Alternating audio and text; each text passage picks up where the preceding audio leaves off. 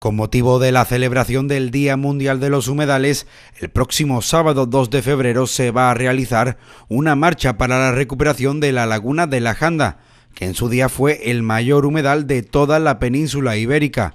Debido a la ley Campo y basándose en que este ecosistema era propenso a la generación de enfermedades, se permitió el deseque de esta gran laguna para su uso privado, tras años de investigación salió a la luz que al no cumplir con requisitos que la ley establecía para el deseque de la laguna, el Estado volvió a adquirir la propiedad de esta laguna.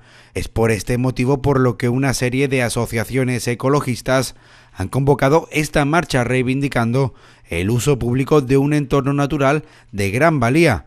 Así lo afirma Lola Yescas, coordinadora nacional de Ecologistas en Acción. Insisto, lo que vamos a hacer es reivindicar el carácter público de lo que fue el mayor humedal de España. Eh, hay que recuperarlo porque una enorme laguna como era la laguna de la Janda, poco profunda pero muy extensa, asociada a eh, lo que supone el estrecho para las aves, zona de migración, de tránsito y de todo. Y con el Parque Natural de los Alconocales detrás, estamos hablando de un espacio de la Valía de Doñana o mucho más. La marcha saldrá a las 10 de la mañana desde el poblado de Varelo y se podrán hacer dos rutas distintas, una partiendo desde el propio poblado de Varelo y la otra que se iniciará en el puente de la Charca.